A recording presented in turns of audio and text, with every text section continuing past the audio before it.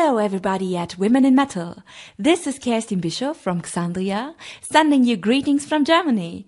Thank you so much for your support of female fronted metal bands, which means a lot to me personally. So take care. Bye.